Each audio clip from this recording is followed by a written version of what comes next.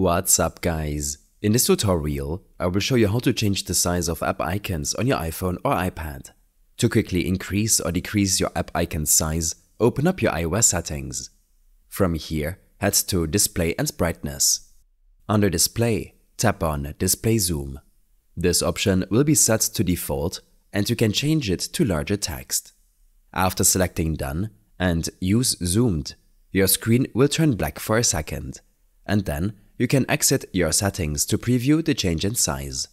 App icons will appear larger, but also written text, keyboard keys, and other user interface elements, such as notifications on the lock screen.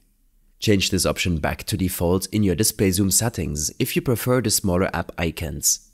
When this is done, you can also adjust some other display settings. Head to the Accessibility section in your iOS settings and tap on Display and Text Size. From here, you can make text bold, larger, add button shapes, increase contrast, and more. Play around with these settings until satisfied. I hope this helped you out. Leave a comment if you have any questions and see you in the next one.